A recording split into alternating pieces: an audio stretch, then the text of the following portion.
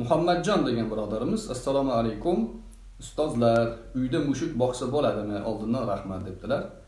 Mushuk boqsa bo'ladi albatta.